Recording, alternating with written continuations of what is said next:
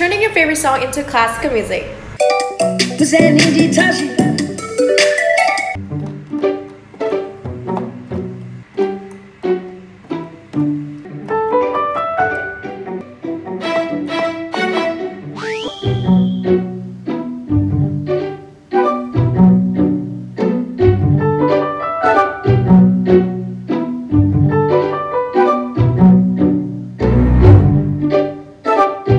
thank you